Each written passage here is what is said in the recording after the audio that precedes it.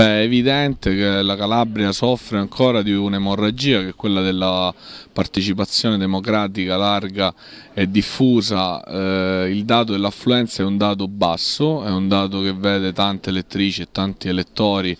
non recarsi all'urna, non esprimere la propria preferenza, eh, non partecipare a quelle che sono le consultazioni elettorali regionali. Questa dissefazione al voto, secondo te che cosa nasce? Eh, quindi la gente è lontana dalla politica?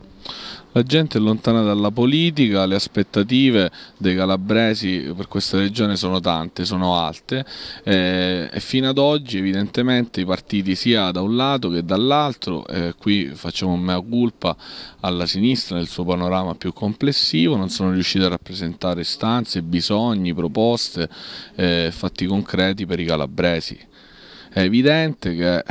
da domani parte un percorso fondativo nuovo, il centrosinistra come in Italia, come già dichiarato nel suo appello eh, il segretario nazionale del Partito Democratico e per la nostra parte anche articolo 1 dovrà rifondare il centrosinistra, rimettere in campo una nuova piattaforma e penso alla Calabria in cui è ormai necessario ed evidente che serve rimettere eh, in discussione tutto, eh, rimettere al centro una nuova classe dirigente generazionale che provi a cambiare le cose e a metterci la faccia in prima persona.